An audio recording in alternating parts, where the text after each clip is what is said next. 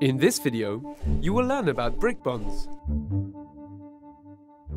In masonry, a brick bond refers to a specific pattern of arranging bricks to ensure structural stability.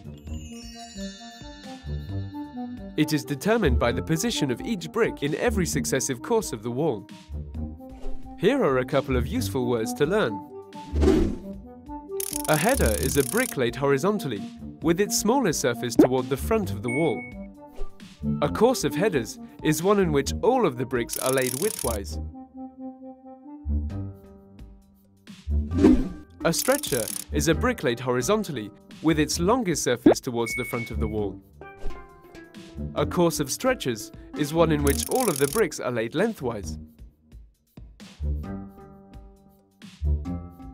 A mortar bed is the layer of mortar on which a course of bricks is laid. A perpend is the vertical layer of mortar at the joint between two bricks. They ensure that bricks in the same course are held together. A queen closer is a brick cut in half lengthwise. The quoin is the corner brick where two walls intersect.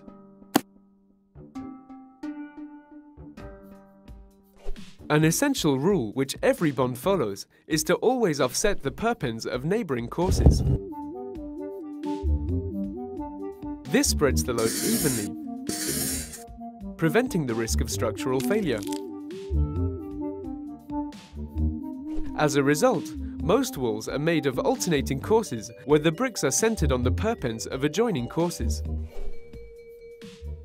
The most common brick bonds are the stretcher bond, the English bond, and the Flemish bond.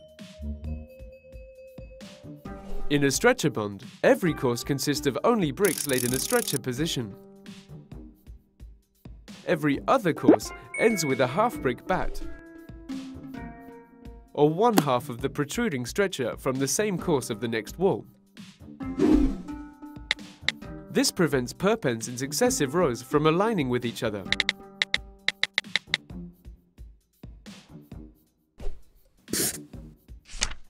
The stretcher bond is usually used in walls bearing lighter loads, such as partition walls.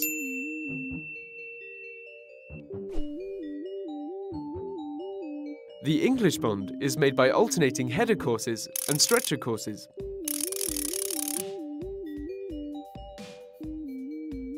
A queen closer is placed in second and penultimate positions on header courses. This type of bonding is considered to be the strongest and is used to build load-bearing walls of all thicknesses. The Flemish bond is made of courses of alternating headers and stretchers.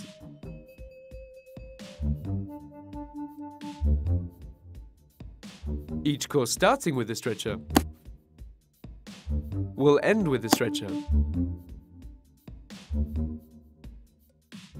The courses starting with a header will end with a header as well.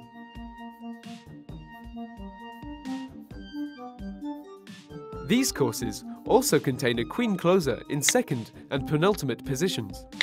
Headers are centered on stretchers from the course below. The Flemish bond uses more mortar as it contains a larger number of joints you now know how to identify the different brick bonds.